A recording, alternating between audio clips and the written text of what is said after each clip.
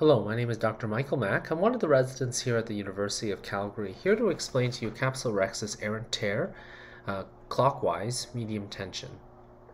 In this particular video, you start off with an errant tear that um, the capsule has medium tension at the 6 o'clock area.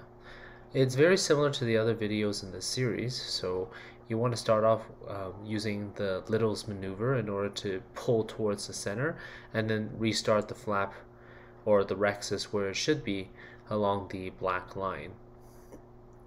Then you just grab and re-grab in the um, regular fashion, trying to stay as close to the black line as possible. So here I've accidentally ripped off a piece of the um, Capsulorhexis flap, but that doesn't matter. You can just start off again, just grasping the edge gently of where you left off and then continuing your rhexis. The machine doesn't penalize you if you've accidentally lost the edge of the um, flap. And that looks pretty good. Let's take a look at that one more time. Inserting a little bit of viscoelastic.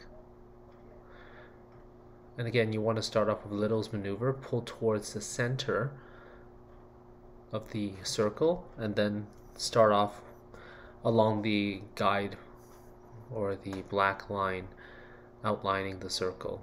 So you want to stay as close to the black line as possible, either completely on the black line ideally or a little bit outside the black line. I find that the machine doesn't really um, mind if you go outside the black line a little bit, but if you leave a little bit too much of the capsule inside the black line, it, it tends to deduct more points.